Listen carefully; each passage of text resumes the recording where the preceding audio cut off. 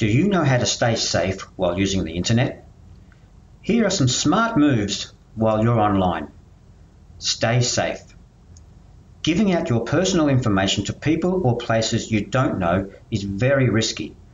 Keep your personal information and passwords secret and safe, and remember, think carefully before you share a photo of yourself or your friends.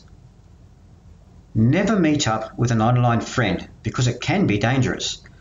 Even if you think you know people well, they might be faking. Always check with an adult you trust.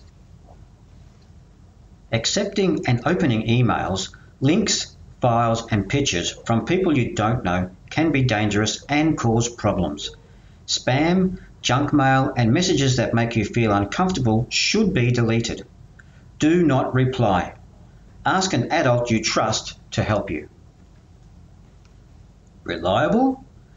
The internet has some great information and is full of friendly people. However, sometimes people say or write things which are untrue. Think very carefully before trusting what you see or hear.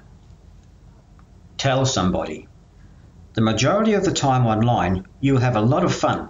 However, if something or someone makes you feel worried or uncomfortable, make sure you tell an adult that you trust or report your worries to www.esafety.gov.au.